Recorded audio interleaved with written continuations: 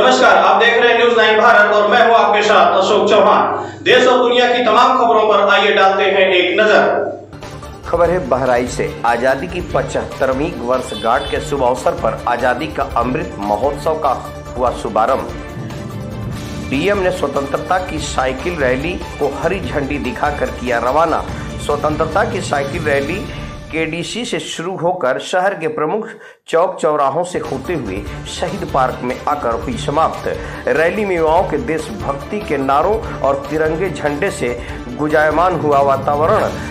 Rally ने एकता देश प्रेम और भाईचारों का दिया संदेश। अनस तारिक की रिपोर्ट।